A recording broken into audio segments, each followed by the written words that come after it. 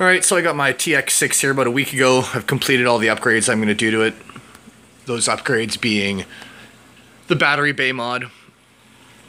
You see a lot of YouTube videos about cutting out the grill in the back so that you can sit the quad flat and then power on after doing so. I've gone one step further with uh, the battery capacity mod, running two in parallel. Charges a little bit curiously because it's, you know, it's two two S's running in parallel. You can still use one balance port from one battery. Um, it seems to be working. Uh, what am I at here? I'm 2800 mAh total runtime. I seen a video someone got 30 minutes of runtime just hovering it in their room. I'm sure that equates to probably more like 20 minutes of actual flight, but yeah, it's probably double of the original 10 from one battery pack, considering the the added weight. Um, so yeah, battery bay mod, battery capacity mod. I've done the Syma 5.8 gigahertz FPV, and I've slung that beneath the second battery pack. You can see the landing skid mod that I've done. There's quite a few of those out there. Most seem to add a lot more weight than what I've done here. Uh, I'll just briefly go over that real, real quick. I don't know if I can get the right angle here.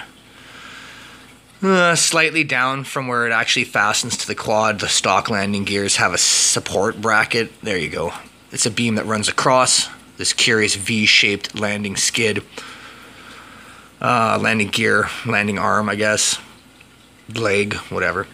Um, after that point, it's it's hollow all the way to the tip in the factory. So I cut about an inch of the factory one off, purchased some small, I'm not too sure what the diameter is of this ABS plastic.